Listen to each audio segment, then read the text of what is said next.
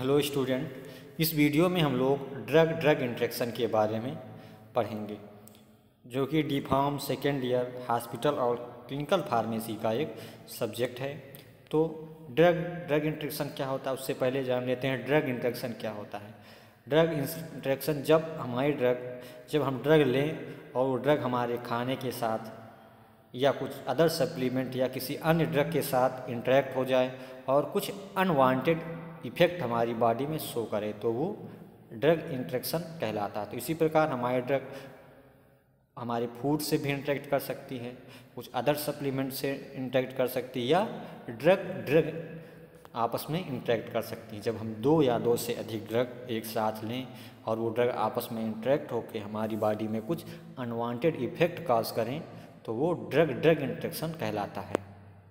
इससे क्या होगा, जो उसकी फार्मो को काइनेटिक प्रॉपर्टी वो चेंज हो सकती है। फार्मो को डायनेमिक प्रॉपर्टी भी चेंज हो सकती है, जिससे जो हमारा ड्रग है, वो डिज़ायरेबल साइड डिज़ायरेबल इफ़ेक्ट ना दे के अनवांटेड इफ़ेक्ट हमारी बॉडी को प्रोड्यूस कर सकता है। Drug drug interaction below the following classes of drug have been discuss below तो कुछ ड्रग ड्रग इंट्रैक्शन है जिस जिनको हम इस वीडियो में देखेंगे, जैसे एनालजेसिक की कुछ ड्रग इंट्रैक्शन है, डायूरेटिक्स, कार्डियोवास्कुलर ड्रग और रेस्टो इंटेस्टाइनल विटामिन एक्सेट्रा तो एनालजेसिक ड्रग इंट्रैक्शंस तो कुछ एनालजेसिक ड्रग हैं जो कि कुछ ड्रगों के साथ, कुछ अन्य दवाओं के साथ नहीं देनी चाहिए क्योंकि वो आपस में इंट्रैक्ट हो सकती हैं। तो इसी प्रकार से माया ड्रग है एस्प्रिन और प्रोबेनिसिड। इन दोनों को एक साथ नहीं देना चाहिए। क्यों नहीं देना चाहिए? Both complete the same action on plasma albumin ये दोनों सेम एक्शन प्रोड्यूस करते हैं प्लाज्मा एल्बोमिन से, जिससे क्या होगा?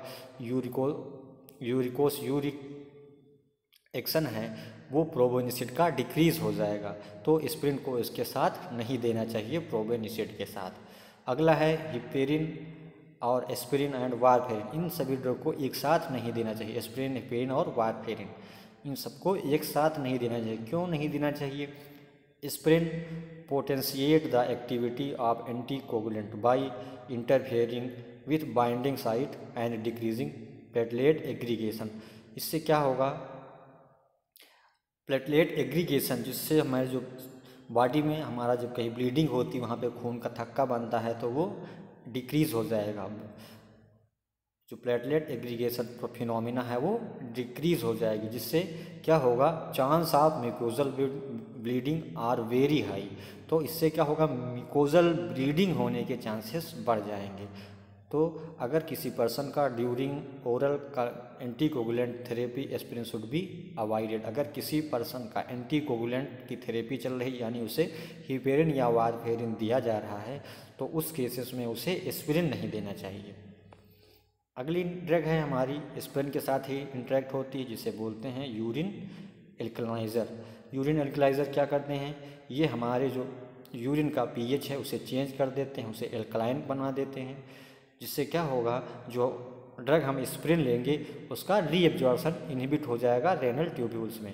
रेनल ट्यूब्यूल्स में स्प्रिन का रीएब्जॉर्सन इनहिबिट हो जाएगा, जिससे क्या होगा यूरिन का जो कंसंट्रेशन है वो रिड्यूस हो जाएगा, वो अपनी पूरी तरह से अपना एक्शन नहीं सो पाएगी on the site of target पे।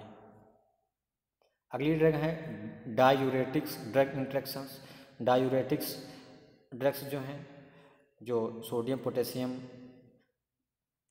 का एक प्रकार से सिक्रीशन करने में काम, अपनी भूमिका निभाती हैं, जैसे फ्लोरोसमाइड थायाजाइड और एंटी डायबिटिक ड्रग। इन्हें एक साथ नहीं देना चाहिए। ये फ्यूरोसिमाइड थायाजाइड ये क्या है? एक डायूरेटिक्स हैं। इनको एंटी डायबिटिक ड्रग के साथ नहीं देनी चाहिए। क्यों नहीं देनी चाहिए?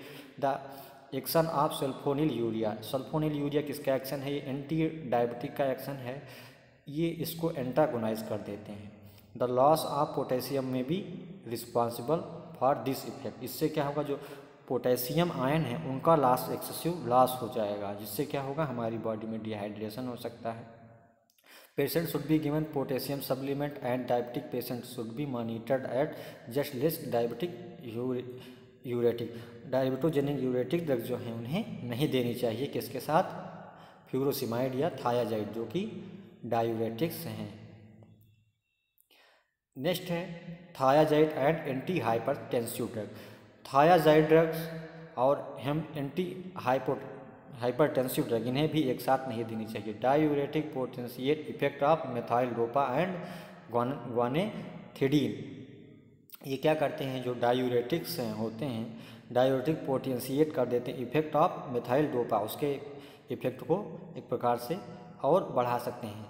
This combination is valuable for physician the patient should be monitored for excessive hypotension इससे क्या हो सकता है? एक्सेसिव हाइपोटेंशन हो सकता है।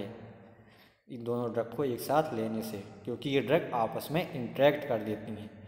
अगला है थायाजाइड एसिटाजोलामाइड एंड क्विनिडीन ये ड्रग आपस में नहीं देनी चाहिए, आपस में इंट्रैक्ट होने के चांसेस बढ़ जाते हैं।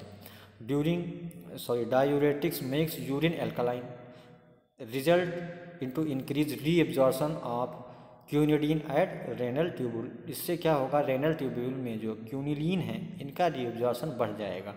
थायाजाइट so इडेक्टिव effect with quinidine parental administration care should be taken for urine alkalisation during quinidine therapy. तो क्यूनिलीन थेरेपी के समय थायाजाइड का जो एक्शन है, उस पर इफ़ेक्ट पड़ेगा। अगर ये दोनों ड्रग को एक साथ दी जा रही हैं तो था, क्यूनोलिन और थायाजाइड जो कि, एक, जो कि क्या हैं? डायूरेटिक्स हैं। नेक्स्ट ड्रग हमारी हैं, कार्डियोवस्कुलर ड्रग्स। ये ड्रग किन से किन किन से इंटरेक्ट होती हैं, इसके बारे में देखते हैं। Cardio cardiac glycoside digitalis and antacid, इनके साथ ये ड्रग जनरली इंट्रैक्ट होती हैं। GIT absorption of cardiogenic is impaired by albumin hydroxide gel और मैग्नीशियम ट्राइसिलिकेट तो जी आई जीआईटी रीएब्जॉर्सन जो कार्डियोजेनिक कार्डियो ग्लाइकोसाइड ड्रग हैं कार्डियोजेनिक जो ड्रग हैं, वो उनका एक प्रकार से रीएब्जॉर्सन रीएब्जॉर्सन की जो फिना फिनोमिना है, उस पर इफ़ेक्ट पड़ता है, क्योंकि जो एल्बुन एल्बुमिन हाइड्रोक्साइड जेल होता है, ये उसकी एब्जॉर्सन कैपेबिलिटी कैपेबिलिटी को डिक्रीज कर देता है।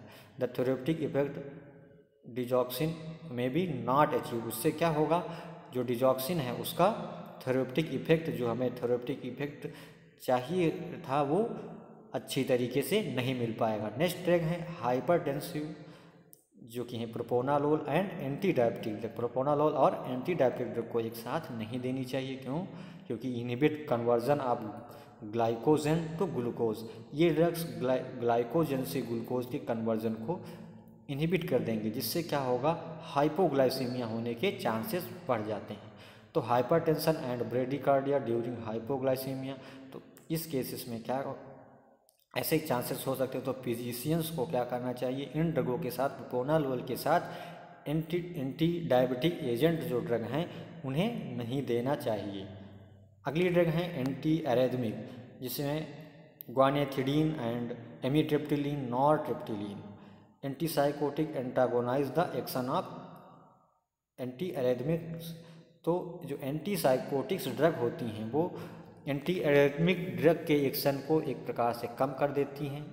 तो फिजिशियंस को अगर एंटी एरेदमिक ट्रीटमेंट चल रहा है तो उसे try tricyclic anti depression drug हैं, उन्हें नहीं देनी चाहिए। जैसे कि एमेट्रेप्टिलिन नॉर ट्रिप्टिलिन ये ड्रग उसे अवॉइड करनी चाहिए। अगली ड्रग है गेस्टो इंटेस्टाइनल एजेंट। गेस्टो इंटेस्टाइनल एजेंट जो हमारी जीआईटी पे काम करती हैं, वो ड्रग किन किन ड्रगों से इंट्रैक्ट होती हैं, उसके बारे में देखते हैं। तो सबसे पहले वो ड्रग जिसमें सबसे ज़्यादा यूज़ होती है एंटासिड एंटासिड एस्प्रिन के साथ जनरली इंटरेक्ट होने के चांसेस रहते हैं। तो antacid reduce GIT irritation by neutralizing hyper acid secretion induce by aspirin तो जो एंटासिड होती है वो जीआईटी में इरिटेशन को रिड्यूस कर देती है by neutralizing the hyper secretion of hyper secretion of induce by aspirin तो इससे क्या होगा? जो जीआईटी में एसिड का हाइपर सिक्रेशन हो रहा होता है स्प्रिन के द्वारा उसको उसको जो एंटासिड होती हैं वो रिड्यूस कर देती हैं। इससे जो स्प्रिन है, उसका भी सही से एक्शन नहीं प्राप्त होगा और एंटासिड भी अच्छे से काम नहीं कर पाएँगी। फैसिलिटेट एब्जॉर्सन ऑफ़ एस्पिरिन, इससे क्या होगा? जो स्प्रिन का एब्जॉर्सन फिनोमिना है, वो डिस्टर्ब हो जाएगी। This combination can not be use to physician in case of patient with acidity syndrome अगर किसी पर्सन को एसिडिटी सिंड्रोम है तो उस केसेस में उसे ये दोनों ड्रग एक साथ नहीं देनी चाहिए बिकॉज़ ये ड्रग आपस में इंट्रैक्ट हो सकती हैं। अगली ड्रग है antacid and anti tubercular agent anti tubercular agent बहुत सारे ड्रग हैं एंटी ट्यूबरक्लोसिस के पेशेंट को दी जाती हैं, जैसे आइसोनियाजिट इथम ब्यूटाल ये कुछ ड्रग हैं, इन्हें ट्यूबरक्लोसिस के ट्रीटमेंट में दिया जाता है। तो एल्बुमिन हाइड्रोक्साइड जेल जो कि एंटासिड में पाया जाता है, ये आइसोनियाजिड जो कि ट्यूबरक्लोसिस के ट्रीटमेंट में यूज़ की जाती है, उसको एब्जॉर्बेशन की फिनोमिना को डिस्टर्ब कर देते हैं। इससे क्या होगा? जो आइसोनियाजिड है, उसकी बायोबिलिटी डिक्रीज़ हो जाएगी। एंटासिड में भी गिवन आफ्टर सम इंटरवल तो आइसोनियाजिड के साथ अगर एंटासिड दी जा रही है तो उसको कुछ इंटरवल के बाद ही देना चाहिए। एक साथ लेने से अवॉइड करना चाहिए। कम से कम दो से तीन घंटे के गैप के बाद ही एंटासिड और एंटी ट्यूबरकुलर एजेंट को देना चाहिए।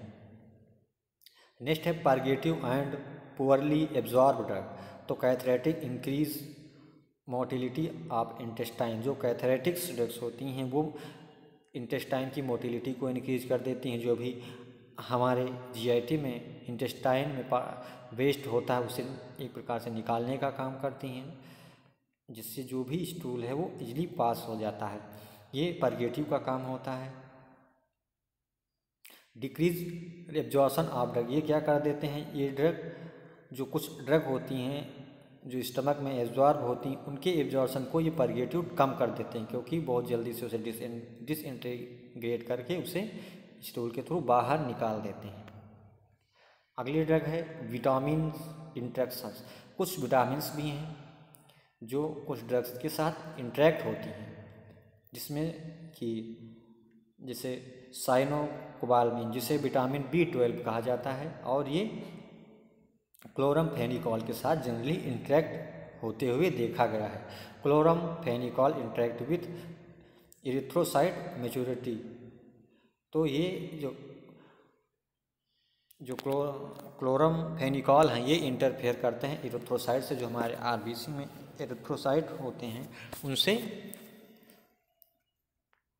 इंट्रैक्ट होते हैं। Patient with pernicious anaemia response poorly to vitamin B twelve if chloramphenicol is given with तो अगर जिन पर्सन को परनीसियस एनीमिया है, उन्हें विटामिन बी ट्वेल्व दी जा रही हो। बट अगर उन्हें कोलोरम फेनिकाल दिया जाए तो वो जल्दी से अपना एक्शन नहीं शो करती, क्योंकि वो उसके एक्शन को एक प्रकार से इनहिबिट कर देता है। विटामिन ए और मिनरल ऑयल आपस में इंटरेक्ट होते हुए देखे गए हैं। तो क्या, क्यों? कि mineral oil decrease absorption of vitamin A from GIT क्योंकि जो मिनरल ऑयल्स होते हैं, वो विटामिन ए के एब्जॉर्सन को डिक्रीज कर देते हैं, कम कर देते हैं। तो इन ड्रगों को भी एक साथ नहीं देना चाहिए। नेक्स्ट हमारी ड्रग आती हैं anti diabetic agent anti diabetic agent भी कुछ ड्रगों के साथ इंटरेक्ट होते हैं। एंटी डायबिटिक एजेंट वो एजेंट जो हाइपर ग्लाइसीमिया के केसेस में या हाइपोग्लाइसीमिया के केसेस में यूज़ की जाती हैं, जो डायबिटीज़ के पेशेंट को दी जाती हैं। वो एंटी एंटी डायबिटिक ड्रग्स होती हैं। तो एंटी डायबिटिक एजेंट जनरली देखा गया है कि एल्कोहल के साथ इंटरेक्ट हो जाती हैं। तो एल्कोहल हैज़ हाइपोग्लाइसमिक इफ़ेक्ट, क्योंकि एल्कोहल में हाइपोग्लाइसमिक इफ़ेक्ट होता है। दस, सीवियर हाइपोग्लाइसेमिया में भी इफ़ेक्ट। तो एल्कोहल से क्या होगा? हाइपोग्लाइसेमिया इफ़ेक्ट हो सकता है। अगर कोई पर्सन ऑलरेडी हाइपोग्लाइसमिक ड्रग ले रहा है और वो साथ में एल्कोहल का भी सेवन कर रहा है तो उसकी बॉडी में बहुत ज़्यादा चांसेस हो जाते हैं कि हाइपोग्लाइसमिक ग्लाइसीमिया की कंडीशन हो जाए। तो अगर एंटी डायबिटिक एजेंट ली जा रही हैं तो वैसे पर्सनस को वैसे पेशेंट को एल्कोहल अवॉइड करना चाहिए।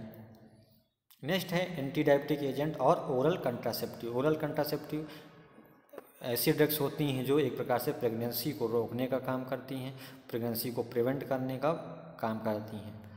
तो ये ड्रग इम्पेयर्ड ग्लूकोज टॉलरेंस में अकर इनसे क्या होगा? जो ग्लूकोज टॉलरेंस है, वो अकर हो जाता है एंटी डायबिटिक एजेंट का। Oral contraceptive replace by than other than other rollers. तो जो ओरल कंट्रासेप्टिव है, उसके जगह पे किसी दूसरे रूट से अगर कंट्रासेप्टिव दी जाए तो ये इसे एक प्रकार से रोका जा सकता है। चाहे वो आईबी से दिया जाए या फिर कुछ और भी कंट्रासेप्टिव के मेथड है, उनके थ्रू इस प्रोसेस को एक प्रकार से रोका जा सकता है। Thank you